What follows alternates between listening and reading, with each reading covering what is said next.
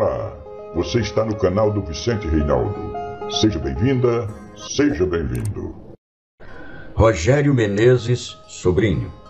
Rogério Menezes, como é conhecido no mundo artístico.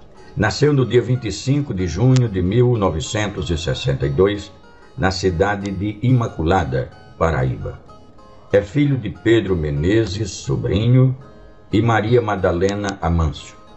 Na sua região tinham muitas cantorias e seus pais gostavam muito. Sempre iam com ele às apresentações. Foi daí que surgiu o interesse pela cantoria de repente. Frequentava as cantorias sempre que podia. Além de seus pais, seus irmãos e amigos também gostavam. E aí ele decidiu, na época com 22 anos de idade, começar a cantar. Começou como brincadeira, cantando para os amigos mais próximos, os parentes, e deu certo.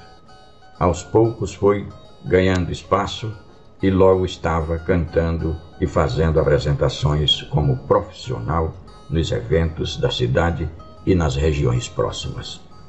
O primeiro poeta a formar dupla com ele foi o poeta Nonato Costa. Em seguida, fez dupla com João Lourenço e depois com Raimundo Caetano. Rogério diz que se o passado voltasse, seria cantador novamente. Seria assim, pois é muito feliz com o que faz e ama a poesia de repente, a arte de improvisar.